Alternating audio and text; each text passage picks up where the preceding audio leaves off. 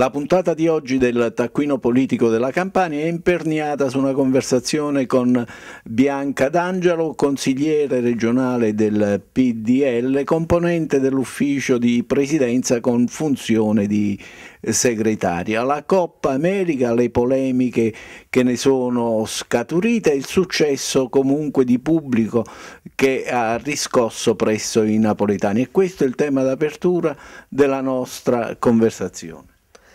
Sì, la Coppa America è una grande opportunità per un, il rilancio d'immagine della regione Campania. Eh, fortunatamente noi abbiamo due, due, tappe, una quest'anno che sta per concludersi e nel 2013, perché quest'anno io credo che noi possiamo contare su un ritorno mediatico di rilancio appunto dell'immagine della città, ma eh, credo che eh, non abbiamo ottenuto quei vantaggi economici che il territorio si aspettava, però abbiamo il 2013 eh, sul quale investire una programmazione adeguata e poter finalmente dare a questa regione la possibilità di utilizzare i grandi eventi come volano concreto di sviluppo economico per il territorio. Ecco, la nuova ZTL è varata in occasione della Coppa America.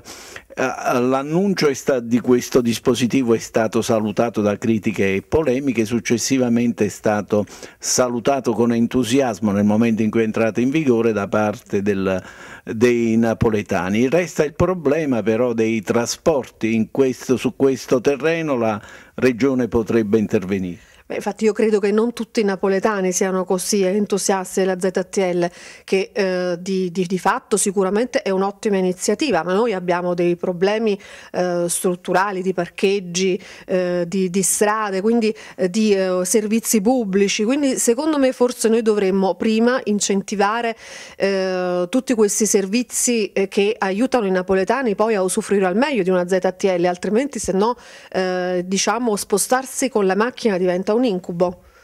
Ecco, sarebbe da incentivare anche ciò che resta del metro del mare per quanto riguarda, riguarda la zona costiera napoletana. Infatti, secondo me il metro del mare potrebbe essere una via alternativa eh, che eh, potrebbe aiutare moltissimo eh, alcune zone di Napoli che in questo momento non so se si sono resi conto, ma sono completamente tagliate fuori perché hanno dei servizi pubblici molto limitati, eh, ci obbligano in effetti a, uh, ad avere soltanto un paio di strade come, eh, come collegamenti e eh, tornare a casa è a volte veramente complicato la sera.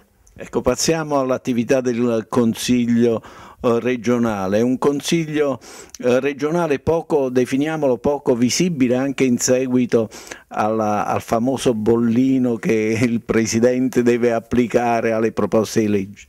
Sì, la famosa bollinatura. Eh, io dico sempre, lo ripeto anche oggi, che questa è, un, eh, diciamo, è una cosa momentanea e dovuta all'esigenza di eh, contenere i costi, d'altra parte eh, lo sapevamo, eh, l'eredità è stata pesante, non lo vogliamo ripetere, altrimenti eh, si, si, si, parla sempre più o meno del, del, delle stesse cose, però tale è la situazione, quindi in questi due anni abbiamo avuto l'esigenza di controllare eh, i costi anche attraverso delle leggi che non eh, spingessero troppo l'acceleratore su eh, delle, una spesa economica che la Regione non si può permettere. Però nonostante questo eh, posso dire che il Consiglio è assolutamente attivo e ehm, tante proposte sono state messe in campo anche a costo zero.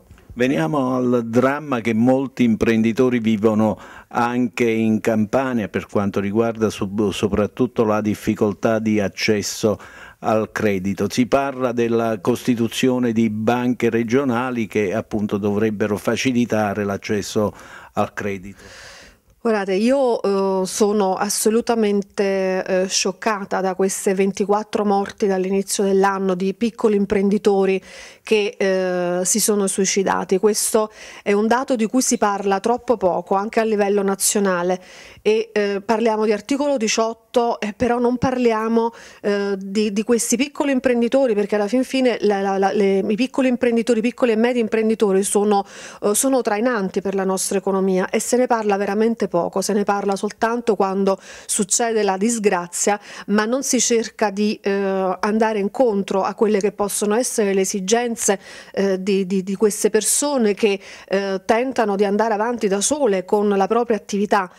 E eh, sì, eh, stiamo studiando un... Um, una proposta di legge per eh, delle banche regionali che devono dare eh, accesso al credito, eh, aiuti all'imprenditoria eh, femminile e giovanile eh, in maniera più concorrenziale rispetto alle altre banche. Questo è possibile perché la Costituzione lo prevede e quindi io credo che in tempi brevi metteremo in campo questa iniziativa per eh, dare un contributo a quello che è un momento molto brutto per i piccoli e medi imprenditori di cui, ripeto, si parla troppo poco anche a livello nazionale e vediamo in Regione Campania di mettere in campo qualche cosa che realmente possa essere un valido aiuto. Ecco, Bianca D'Angelo è componente e esponente dell'Associazione Mezzogiorno di Fuoco, l'associazione fondata da Enzo Rivellini, è proprio un consigliere provinciale di Enzo di Mezzogiorno di Fuoco su questo tema, ha, ha fatto una sorta di petizione. Sì, esattamente, infatti eh, eh, con lui che stiamo studiando eh, questa proposta di legge che eh, credo che presenterò in settimana prossima, quindi è un qualcosa di molto concreto e eh, veloce. Ecco, le banche, ma perché le banche sono, si dice le banche non sono enti di beneficenza, ma è giusto il loro comportamento dal punto di vista di Bianca D'Angelo? No, non, non sempre. Uh, non sempre sono molto critica proprio sulle piccole e medie imprese e uh, gli imprenditori vengono lasciati troppo soli ad affrontare questo momento economico uh, nazionale eh, che ci vede tutti in difficoltà. Quindi le banche credo che potrebbero fare qualcosa di più. Il clima in Consiglio regionale, apriamo una finestra proprio sull'attività del Consiglio regionale, com'è? Il clima in Consiglio regionale è, è buono. Eh, C'è la polemica nella maggioranza tra PDL e UDC in merito alle alleanze per le amministrative avrà una ricaduta o no? Eh, questa è una polemica appunto relativa alle amministrative, io credo che troveremo poi alla fine quella, quella sintesi per poter eh, diciamo, dissolvere le polemiche. Il ruolo delle donne? Il ruolo delle donne è molto attivo, è molto incisivo anche, e con le colleghe eh, viviamo dei percorsi eh, che ci accomunano per delle leggi che sono eh, diciamo per le donne e eh, abbiamo avuto grandissimi risultati fino adesso, quindi continueremo sicuramente in questa direzione. Ecco, i rapporti tra giunta e consiglio regionale permangono i mal di pancia appunto per quanto riguarda la bollinatura. Avrà un futuro questa regione o sono alle porte elezioni anticipate per caso?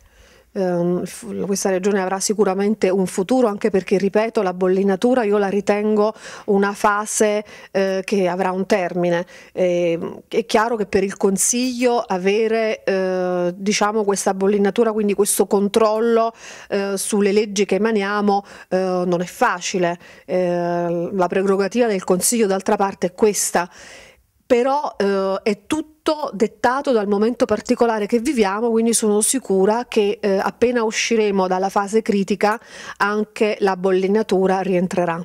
Ecco, le elezioni amministrative ormai bussano alla porta, quali potrebbero essere gli scenari dopo la tornata elettorale? C'è molta confusione in questo momento. C'è molta confusione perché l'opinione pubblica vive un momento di antipolitica eh, mar molto marcato e abbiamo la presenza di tantissime liste civiche infatti nel, ne, nei vari comuni. E io credo che questa è una valutazione che potremo fare l'8 maggio e, e capire veramente sul territorio qual è l'indirizzo di pensiero. Bene, buon lavoro, in bocca al lupo, a voi tutti grazie per la cortese attenzione. Taccuino Politico della Campania come sempre tornerà domani alla stessa ora.